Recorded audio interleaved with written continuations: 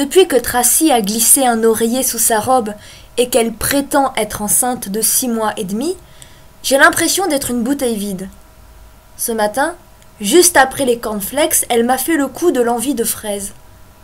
J'ai couru en chercher une livre chez l'Italien, il n'en avait pas, et même deux rues plus loin, là où sont tous les magasins, je n'en ai pas trouvé tout de suite parce qu'il avait neigé. De toute façon, quand je suis revenue à la maison, elle n'en voulait plus. J'ai shooté dans le foutu sac de fraises et j'ai voulu partir en claquant la porte de la cuisine. Mais elle m'a retenue par mon pull. Elle a posé ma main sur son ventre et elle m'a forcé à fermer les yeux. J'ai fait ce qu'elle désirait. Elle a dit avec une ferveur invraisemblable Tu le sens bouger, dit Tu le sens Je n'ai évidemment rien senti, mais j'ai hoché gravement la tête. Son visage scandinave s'est éclairé aussitôt. Est-ce que ça n'est pas merveilleux, Dunk a-t-elle demandé avec son lumineux sourire, de penser que notre petit nageur se prélasse ainsi dans le ventre de sa maman? Je suis sortie de la pièce à reculons et j'ai grimpé jusqu'à mon bureau. J'ai regardé ma machine à écrire comme si c'était un corps étranger. Quinze jours que je n'arrive pas à travailler. Et j'aurais voulu shooter dedans. J'ai regardé dehors et la neige s'est remise à tomber. Vous auriez juré des milliers d'oreillers que les voisins du dessus auraient secoués par les fenêtres. Je suis redescendu en cavalant. J'ai arraché le faux ventre de Tracy et je l'ai secoué par la fenêtre ouverte. Le duvet et la neige, il n'y avait pas de différence. Tracy m'a martelé le dos avec ses poings. Elle s'est mise à pleurer sans bruit, le genre de chagrin que je redoute le plus chez elle. Et elle a commencé à dire que j'avais tué notre enfant. Mercredi dernier, nous sommes allés chez ce vrai salaud de Fenimore Altman Granger. Il est l'analyste qui suit Tracy depuis bientôt trois ans. C'est un blond plutôt décevant avec une tendance à se voûter malgré ses 35 ans. Et j'aimerais vraiment shooter dans lui. L'été dernier, Tracy a fait à son propos un report tout à fait conforme à la théorie freudienne. Mon image de Marie a été sérieusement remise en question pendant un grand semestre. Altman Granger a fait son apparition dans toutes nos conversations et je ne sortais jamais indemne des comparaisons désobligeantes que ce foutu charlatan avait installées par suggestion ou silence lourd autour d'un divan. Encore aujourd'hui, je préfère ne pas rendre publique la bassesse des conclusions, interprétations ou parties qu'il a su tirer avec un fiel consommé du moindre des rêves de ma chère femme. Jamais vu un sournois pareil. Et Altman Granger pratique, à mon avis, l'analyse au plus bas niveau. Durant ces mois de disgrâce et de diffamation pure et simple, il a fallu que je fasse preuve d'une ferme dignité. Sans me vanter, j'ai déployé une talentueuse diplomatie, doublée d'un amour indéracinable pour Tracy. Bien sûr, ce furent des jours noirs, pendant lesquels j'ai shooté dans pas mal de choses, mais c'était après tout le seul moyen de préserver l'intégrité de mon ego. Pas question ici de regretter les deux potiches de ma tante Purdox ou ce vase de Chine auquel je tenais tant. D'ailleurs, à quelque chose sacrifice est sans doute bon. La preuve en est, c'est durant cette période d'exclusion véritable que j'ai commencé à écrire les aventures de Harry Peebles. Un feuilleton dont la démesure que j'ai puisée, comme on devine, dans mon profond désarroi du moment, a tout de suite séduit P.W. Adams du Saturday Evening Post. Le style sec et rageur de ces épisodes à suivre est bien dans ma manière. Et pour peu que vous achetiez la foutue gazette en page 8, vous ne pouvez pas rater une dizaine de feuillets par Duncan Morrison, ni dans un encadré ma photographie, celle qui est prise en Espagne avec un taureau en arrière-plan, et sur laquelle je ressemble à Hemingway, parce que Tracy avait oublié mon rasoir dans un hôtel de Séville.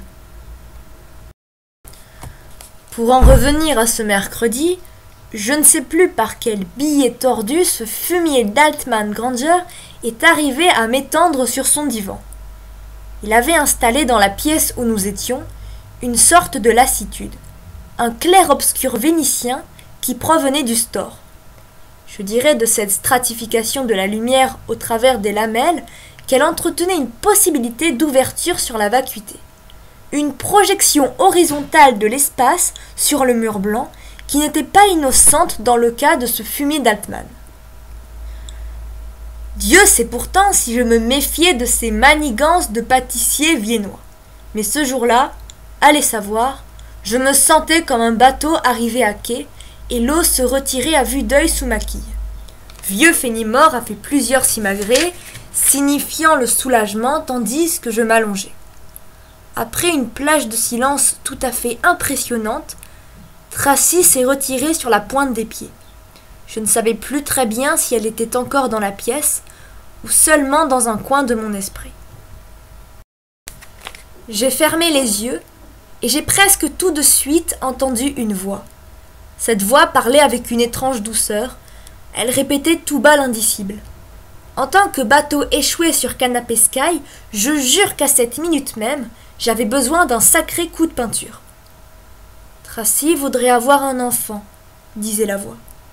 Et moi, je voudrais avoir Tracy. Mais nous n'arrivons pas à confectionner le foutu bébé. Et moi, je perds Tracy. Et ma belle-mère se mêle de ceux qui ne la regardent pas. Le store a bougé derrière moi, et sur le mur, les rayures horizontales se sont modifiées. Il y a eu une prédominance du soleil, et la voix s'est fâchée. Elle s'est mise à dérailler dans l'aigu, et j'ai eu foutrement mal au cœur. Je crois qu'elle a crié. La merde, la merde de se branler dans des éprouvettes, et la merde de se faire sonder le ventre. Nous n'y arriverons pas. Silence, strate, vide, clair-obscur. Soudain, la voix recommençait son chapelet.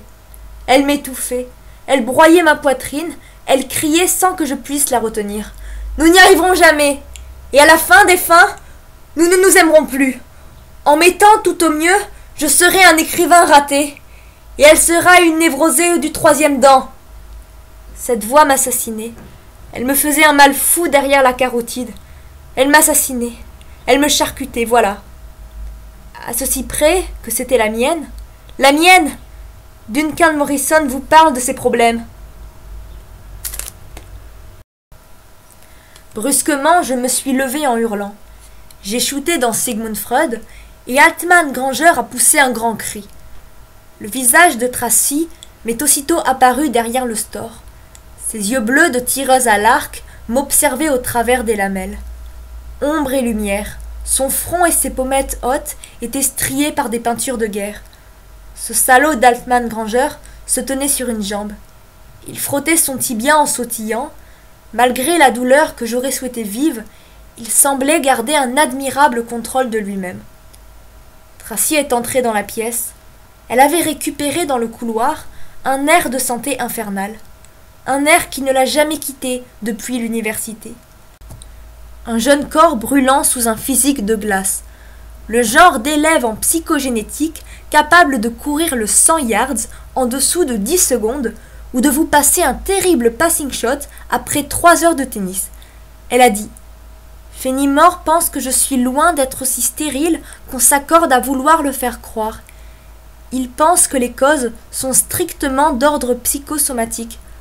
Je suis tout à fait capable de me débloquer pourvu qu'on m'y aide. Fenimore pense que mon épanouissement dépend avant tout de la bonne volonté de mon entourage immédiat. Altman Granger s'est remis à marcher sur deux jambes. Il est venu jusqu'à moi. Il a dessiné sur sa bouche un sourire d'une cordialité inenvisageable. Monsieur Morrison, a-t-il demandé, connaissez-vous les bébés choux?